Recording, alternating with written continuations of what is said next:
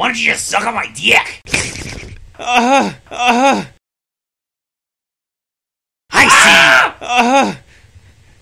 I see young people falling in love, and I can't help but pity them. I mean, come on! Do you not see that it's bound to fail? The attachment you foster will only hurt you, leading to an imminent heartbreak, you fools! Professor, I love my girlfriend. I'll marry her and impregnate her one day. You're a hasty butt muncher. She has come to me twice asking for her by Plan B for her. Needless to say, she repaid me with some exquisite Fellatio. What? That's not the point. You can't even support yourself, not to mention someone else.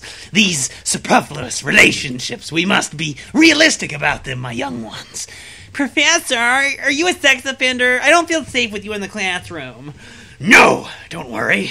It's just a hobby. I stand here before you to teach, and nothing else. I'll take your word for it. And by the way, my girlfriend has AIDS. Oh, no, fuck no! End.